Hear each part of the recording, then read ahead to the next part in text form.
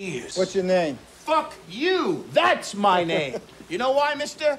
Because you drove a Hyundai to get here tonight. I drove an $80,000 BMW. That's my name.